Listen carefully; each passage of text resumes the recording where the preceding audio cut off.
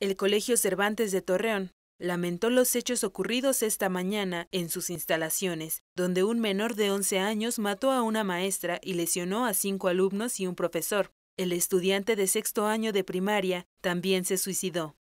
El Colegio Cervantes reitera su consternación por este lamentable hecho y su compromiso de velar por el íntegro restablecimiento de la salud de quienes están siendo atendidos, indicó la institución en un comunicado. El colegio confirmó las dos muertes y los seis lesionados. Además, señaló que trabajarán con alumnos y maestros para inculcar valores éticos, humanos y académicos.